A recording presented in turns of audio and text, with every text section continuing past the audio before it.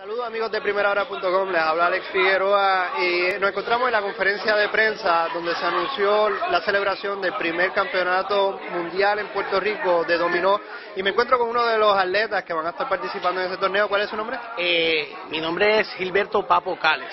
Es un placer, gracias Ale por haberme invitado y por estar aquí en esta conferencia de prensa.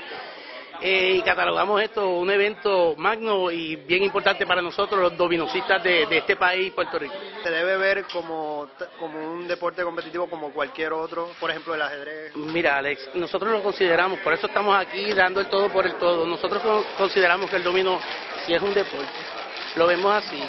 Eh, reúne familia, es una tradición que tenemos desde hace mucho tiempo, desde nuestros abuelitos amistades en, pues, en, todo Puerto Rico, en toda la isla, aquí todo el mundo juega domino alguna vez o lo alguna vez lo ha jugado, ¿no?